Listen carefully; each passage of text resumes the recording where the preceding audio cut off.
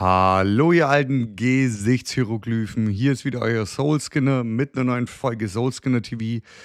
Und ich mache mir jetzt zuallererst mal eine halbe auf. Wartet mal, das mache ich hier jetzt ganz offiziell so.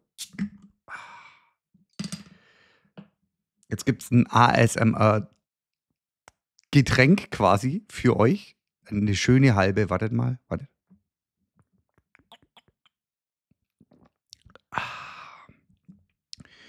Es gibt was zu feiern. Ähm, ihr habt lange nichts mehr von mir gehört. Jetzt gibt es offiziell was zu feiern. Wenn ich jetzt nachher ein Kopperchen machen muss, dann ist es halt so. Die Acolyte Season 2 ist gecancelt. Es wird sie nicht geben. Sie ist offiziell vom Tisch. Und jetzt nehme ich nochmal einen Schluck, weil das so eine gute Nachricht ist. Ich fühle mich richtig gut. Okay, für jeder, der unterm Stein lebt oder überhaupt gar nicht in diesem Universum und nicht weiß, was die Acolyte ist, das war jetzt auf jeden Fall eine Serie von Disney Plus, Star Wars Serie von Lucasfilm, die quasi ja der größte Scheiß war, den es überhaupt gegeben. Also ich habe noch nie, noch nie so eine schlechte Star Wars Serie gesehen. Ich wollte eine Review drüber machen, aber ich war ich war so kaputt danach, mental gebrochen, nachdem ich mal alle acht Folgen angeschaut habe. nein, geht nicht. Ich, wie gesagt, ich war mental broken, ich konnte nicht mehr, ich wollte nicht mehr. Eigentlich habe ich eigentlich mit allem schon abgeschlossen irgendwie. Aber jetzt sind die Nachrichten da, die guten Nachrichten. Es wird definitiv keine Staffel 2 geben. Die Viewerzahlen waren am Ende der Staffel anscheinend so schlecht, dass man sich seitens, seitens Disney dazu entschieden hat, das Ganze in den Boden zu rammen wie ein umgedrehtes Kreuz auf einem norwegischen Black, Fest, Black Metal Festival. So sieht's aus. Ich bin glücklich drüber. Einige sind es vielleicht nicht, die zwei, drei, denen es gefallen hat. Ähm, das mag sein, dass es Leuten gefallen hat. Das ist ja auch legitim. Wie gesagt, es ist alles okay. Wir können die Serie mögen, aber sie ist halt trotzdem in meinen Augen der größte Dunk. Aber Meinungen sind unterschiedlich. Meinungen und Perspektiven sind verschieden. Nichtsdestotrotz muss ich an der Stelle sagen, dass ähm, Leslie Headland, die Dame, die das Ganze verwurstelt und gemacht hat, ähm, hoffentlich nie wieder einen Job bei Star Wars kriegt. Nicht, no, no hate gegen sie. Naja, vielleicht doch ein bisschen. Allein deshalb, weil sie das auf das Erbe von George Lucas sowas von diarrhösiert hat. Sie hat Diarrhoe drauf geballert. Also sie hat wirklich kodiert darauf. Ähm, da kann man nur sagen, ich hoffe, dass die Frau nie wieder bei äh, Disney anheuern kann als irgendetwas, außer vielleicht als, keine Ahnung, Kartoffelschälerin oder whatever in der Kantine. Aber ansonsten lasst die Frau auch von allem weg, was irgendwie nur ansatzweise mit Star Wars zu tun hat. Ihr merkt, ich bin ein bisschen emotional und ähm, wenn es um Star Wars geht, darf man das auch ganz sein, vor allem wenn man Star Wars-Fan seit seiner Kindheit ist.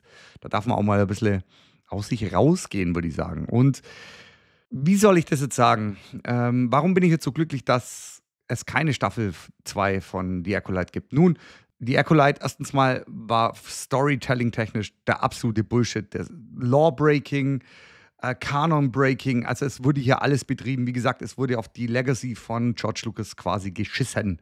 Und ähm, deshalb bin ich froh, dass es keine zweite Staffel gibt. Auf der anderen Seite wiederum haben wir jetzt natürlich ein Riesenproblem. Ich weiß nicht, ob ihr die Staffel gesehen habt. Also es kommt hier definitiv zu Spoilern. Also wer die Staffel noch sehen will, sollte das auch tun. Und wie lange eventuell diese Staffel noch ähm, auf Disney Plus ist. Ich kann mir nicht. Also, wer weiß, vielleicht knallen sie sie runter. Wahrscheinlich wäre das auch gar keine schlechte Idee, aber dazu komme ich nachher noch. Also nochmal zurück zur, ähm, zum eigentlichen Thema. Jetzt habe ich ein bisschen Faden verloren, ganz ehrlich, weil das Bier, das schmeckt so gut. Ich glaube, ich nehme nur mal einen Schluck. Wartet mal. Es, es tut so gut, dieses Siegerbier zum Trinken. Auf jeden Fall waren die Viewerzahlen verdammt mies und verdammt schlecht und deswegen wurde dieses Projekt in den Boden gestammt. Ah, jetzt weiß ich wieder, wo ich war. Siehst du? Jetzt, jetzt habe ich den Punkt wieder, oder den Faden wieder.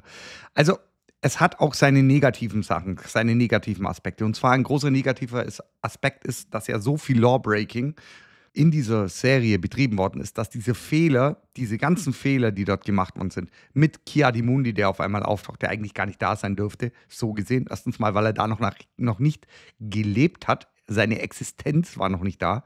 Ähm, noch, dass er dann die ganze Josie mit Sith, Jedi, Slamming, also es wurden viele Jedis getötet, hat er alles mitbekommen. Auch wenn auch bloß mit einem Ohr, aber in seinem langen, fetten Schädel dürfte das auf jeden Fall hängen geblieben sein. Und bei der, bei der dunklen Bedrohung quasi weiß er von gar nichts auf einmal. Er sagt halt, ja, die Siths sind verschwunden seit über 1000 Jahren. Ja. Ja. Tatsächlich? Nein. Alles das ist natürlich absoluter Bullshit gewesen. Auch am Schluss mit Yoda, dass Yoda noch auftaucht.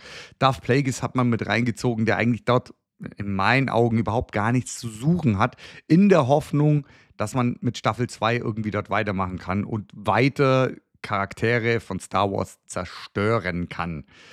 Ich bin Gott froh, dass es nicht passiert. Ich bin Gott froh, dass das aus der Welt ist. So, wie kann man das Ganze fixen? Das kann man eigentlich nicht mehr fixen, weil das ist ja jetzt offiziell Kanon. Aber ich habe mir überlegt, wenn Disney jetzt wirklich, also wenn man sich dort einig sein sollte, dass das scheiße ist, was ja nicht schwierig ist, könnte man es tatsächlich so machen, was man auch mit dem äh, Expanded Universe gemacht hat, mit der EU. Man könnte quasi auch Legends einführen dort.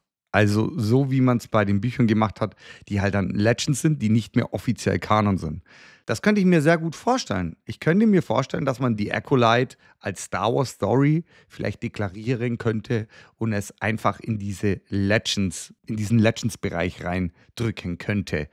Das wäre eine Lösung, mit der, denke ich mal, viele Star Wars-Fans konform gehen würden und das Ganze quasi aus dem Kanon streichen. Das ist für mich persönlich die einzige Lösung, um den Schaden, den diese Serie an der, an, an, an, an der Story, an der, an, wie gesagt, an, an allem, an der Lore gemacht hat, um den irgendwie noch so gering wie möglich zu halten.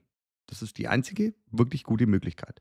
Und damit könnte sich auch quasi Lucasfilm damit könnte Kathleen Kennedy vielleicht noch eine gute Sache machen, bevor sie hoffentlich irgendwann mal in Rente geht, die alte Schachtel. Das wäre das wär eine Lösung, mit der man, denke ich mal, bei den Star Wars-Fans offene Türen eintritt und wirklich den Schaden noch gering halten könnte. Macht es bitte, LucasArts, äh, nicht LucasArts, sondern Lucasfilms. Denkt drüber nach, ob diese Serie wirklich so im Kanon stehen bleiben kann und darf. Ich sage auf keinen Fall haut das Ding raus, macht Legends draus, macht eine Star Wars Story drauf, die irgend, draus, die irgendwie, ja, die halt, es ist halt passiert. So, man wollte es nicht, das ist wie ein schlechter One-Night-Stand, man wacht neben, oh, scheiße, was ist denn das hier neben mir? Passiert, ist halt nun mal so, stapelst oder, oder heft es ab und äh, es war ein Unfall, äh, klatsch es in den, in den Non-Kanon rein, in, in den Legends-Bereich und gut ist. Ist die einzige Möglichkeit. Wie geht's mit Star Wars weiter? nach diesem ultimativen Sargnagel, was ja viele gesagt haben, auch viele YouTuber sagen, das war der, der krasse Sargnagel. Ähm, nein, das war schon vorher so. Ich glaube, ähm, Ahsoka hat auch nicht so viele Leute gezogen. Ich glaube, da waren es am Schluss ein bisschen mehr. Ähm, 200 Millionen Viewer mehr irgendwie oder Minuten mehr. Das reicht nicht aus. Das, ich hoffe, dass von Ahsoka noch eine zweite Staffel kommt. Das hätte sie verdient. Also Ahsoka hätte es verdient die Staffel war nicht so schlecht. Es waren Teile dabei, wo ich mir gedacht habe, ja gut, das muss jetzt nicht sein, das war ein bisschen scheiße. Aber im Großen und Ganzen war die Staffel nicht schlecht und das Ende lässt natürlich auch noch viel Raum für Spekulationen offen. Das von Acolyte auch, aber da will eigentlich niemand wissen, wie es weitergeht.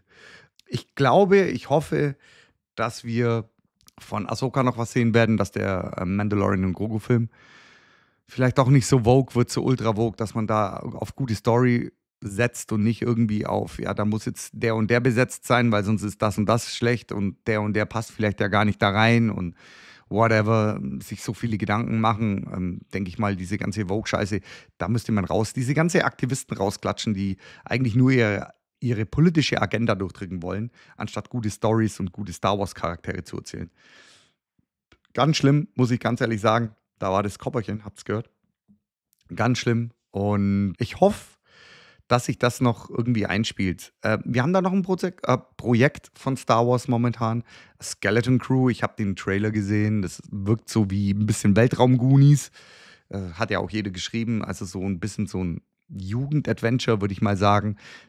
Da weiß ich gar nicht, was ich sagen soll. Solange es nicht in die Lore eingreift, solange das ein eigenständiges Ding ist, was jetzt nicht so komplett irgendwie alles wieder kaputt macht, ist das absolut legitim und ist auch in Ordnung. Auf sowas hätte ich mich auch bei Acolyte tatsächlich gefreut. Aber das hat so viel Einfluss auf, auf den Rest der Story genommen, dass das, das kann man, da kann man nicht drüber wechseln. Bei Skull Crew, muss ich sagen, bin ich vorsichtig, vorsichtig optimistisch. Und wer weiß, vielleicht wird's was. Ähm, Jude Law macht mit. Jude Law ist generell ein geiler Schauspieler. Ähm, ich denke, er wird eine Rolle von einem Machtsensitiven oder Jedi spielen oder zumindest einen, so ein bisschen Leader-Stuff. Aber ich denke schon, dass er ein bisschen so in dem Jedi-Style herkommt. Ähm, vielleicht ist er einer. Man, man weiß ja über Skull Crew jetzt, glaube ich, noch nicht so viel. Ich habe mich da auch noch gar nicht richtig informiert, muss ich ganz ehrlich sagen. Ähm, da habe ich noch ein bisschen Angst davor, mich da vielleicht anhypen zu lassen, drücken wir es mal so aus, weil ja, die Gefahr ist halt da, dass du doch wieder enttäuscht, wird, enttäuscht wirst als Star Wars-Fan und das will ich jetzt momentan gerade nicht. So, das soll es jetzt auch schon gewesen sein. Ganz kurze Nummer von mir. Ich hoffe, euch hat es gefallen. Ich hoffe, ihr schaut wieder rein. Ich glaube, ich werde wieder öfters Videos machen, vor allem zum Thema Star Wars. Gibt es ja das eine oder andere zu berichten. Ich hoffe auch, dass Kathleen Kennedy bald den Stuhl räumt. Ich glaube, was ich gehört habe, die hat noch bis Oktober Vertrag und dann äh, geht es weiter oder nicht. Weiß man nicht so genau. Habe ich jetzt so mal mit einem Ohr irgendwie im Internet vernommen.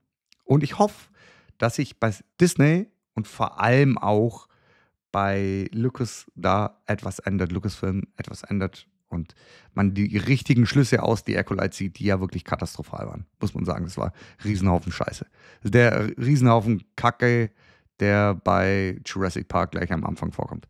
So sieht's aus. Riesenhaufen Dinosaurier-Scheiße. Ich wünsche euch was. Haut rein. Bis dann. Ich trinke mein Bier fertig.